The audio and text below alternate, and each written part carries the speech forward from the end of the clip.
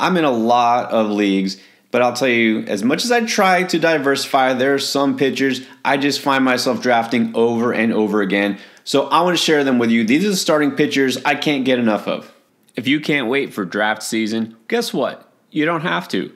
Join Underdog Fantasy and you can draft right now for MLB Best Ball for the 2024 season. They've got some new contests that just opened up. Check them out right now. If you sign up and use promo code ENDGAME, you get a 100% deposit match for your first $100 that you put into your account. Try Underdog Fantasy today. Why not start with a pitcher who is the ace of the Dodgers and not only favorite for Rookie of the Year, but might be a Cy Young candidate in his rookie season, Yoshinobu Yamamoto?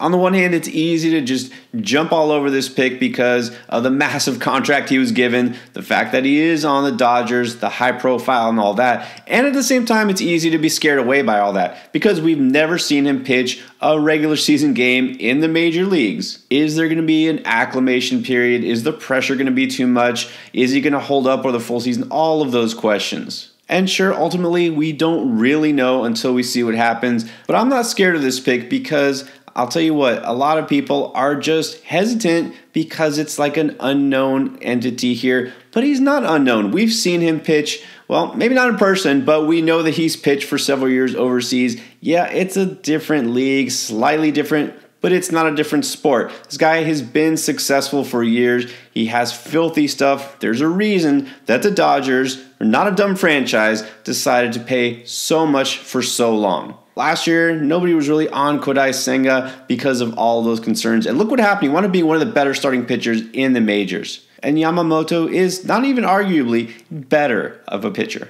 I've really come around on this pick because, you know, I try to follow a lot of smart people who know a lot more about baseball than I do. One of them is Lance Brozdowski. His specialty is breaking down pitching and starting pitchers and their stuff. There's a lot more to it, but basically, let's just say that he showed that Yamamoto's pitch mix is something that major league hitters just might not be ready for, especially his hard splitters. I have no doubt he'll be elite when it comes to punching batters out. Wins definitely not going to be an issue there in LA.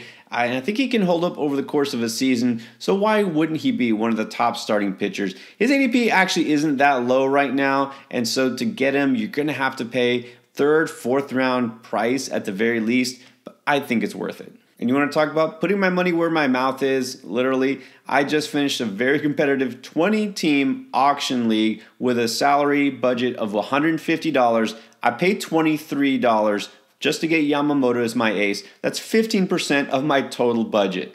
That's how sure I am of him. All right, my next one, if you've watched any of my videos from this preseason or even last season, you know I've been all over Grayson Rodriguez for a while, even before he went off in the second half of 2023. He was one of my favorite preseason picks from last year, and it was looking like a pretty bad pick for the first couple of months, but then he turned it around, was an absolute steal off the waiver wire if you picked him up. Well, now he's firmly a top 75 pick in fantasy, and I don't care, I'm taking him everywhere that I can. I'll just say again what I've been saying. He's got exactly what you want a dominant fastball, one of the top in terms of induced vertical break, and he's got great secondary stuff to complement it. This guy is a workhorse built to be an ace, and he's going to be that. But what's even better is he actually doesn't need to be for the Orioles. Now that they got Corbin Burnes. he won't have that pressure of being the number one guy going against the other team's number one. He gets to be the number two.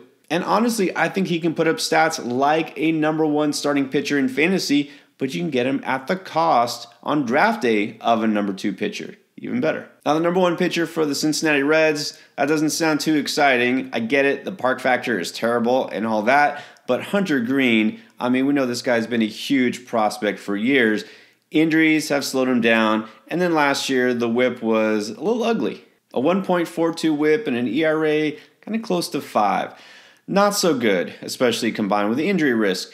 It's kind of hard to control things when you're consistently throwing it over 100 miles per hour. But let's keep in mind, this is a guy who's still just 24 years old, has yet to really throw a full season in the majors. This hopefully will be it. I'm still all in on Greene, not just because of his prospect pedigree and the velocity. That's all attractive, but I do believe he can get that whip down. He's going to induce less hard contact because he isn't just going to try to overpower hitters. He's adding both a curve and a splitter to his repertoire this offseason. So far, signs have been good in the spring, and I think that he can continue to get those whiffs while also controlling the walks. I'm sure there will be some moments where it gets hit hard on certain starts, but I think those will be fewer and farther in between. He's also going to have some dominant outings, and for a guy who's available after pick 100 in most leagues, I'm going to take the plunge.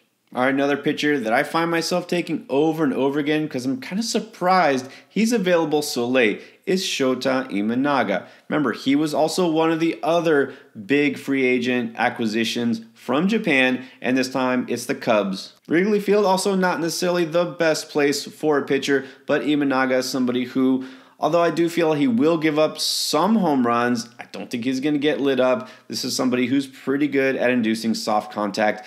Different from Yamamoto because not just being a lefty and throwing not nearly as hard, but he's someone who's going to rely more on trying to induce ground balls. I think he can do it, and I also think he will pile up enough strikeouts to be effective. But this is somebody who should be an innings eater. And again, it goes so underrated. You know, those guys who could just be out there every fifth day and go six or seven frames. Because Imanaga isn't as impressive in terms of velocity, he's not going to make nearly as many pitching ninja highlights as some other pitchers, but still, he's going to be quietly effective. This was a smart signing by the Cubs, and he's somebody who I feel at where he's being taken, kind of like the end of your rotation, is going to be a great value. And when we talk about starting pitchers, I can't stop drafting. I might as well just put Mariner staff.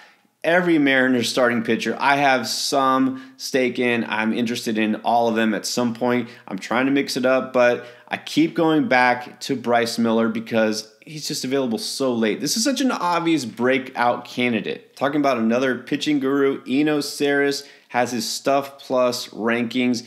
Already gave Bryce Miller a 116, pretty high, especially for such a young pitcher. And now Miller has been adding a splitter, another guy who's going for another really effective pitch. And again, I've read so much about this. Everything I've seen makes me buy in completely into Miller. He's just such an obvious pick at this rate. It's hard for me to believe that he's still available, almost around pick 200. Now, when we get to the later rounds, there's so many pitchers with upside, but also question marks. Talent is where I'm going for. Not guys who have the injury risk, mind you, but guys who just need to kind of take another step forward in development. I'm still in on Mackenzie Gore. I was in on Gore a little too much last year. He didn't take that step forward. Look, Washington, isn't the best place for a pitcher to develop. We know this. But Gore is somebody who has been one of the top prospects for years. He just needs to get his control a little bit under control.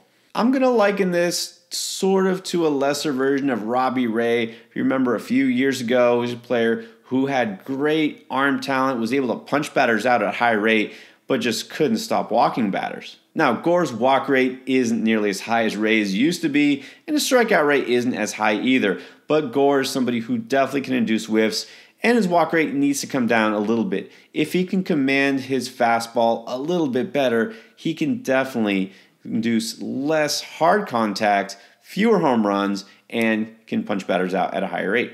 And if you're waiting for a Giants pitcher, here it is.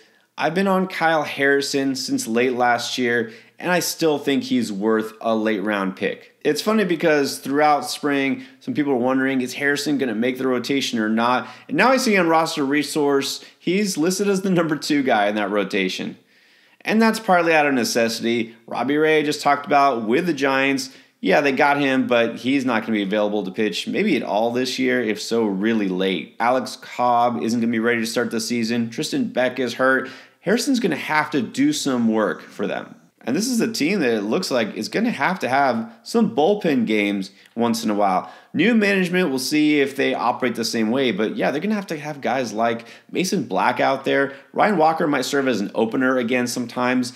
Rotation is a little scary right now if they don't add anything. So for right now, Harrison's going to be depended on. That means he'll have a longer leash he should be able to put up longer innings. This is a guy who, again, doesn't get by with elite velocity, so he doesn't get as much pub. 93 and a half on the fastball, which is fine because he still is able to induce whiffs, and he's got a slurve, which is pretty effective. and fun to say. And when I look for starting pitchers who could be reliable or also could have breakout seasons, I look number one for low walk rates. Number two, I look for a filthy secondary pitch that can be served as a punch out pitch, but also I like team environment and park factor as a tiebreaker. Harrison has that. He's not a guy who will necessarily have elite strikeout rates, but playing in San Francisco, that's something that works in his favor. Wouldn't surprise me to see him go 170 plus innings this year, rack up double digit wins. Those are some of the starting pitchers I love this draft season.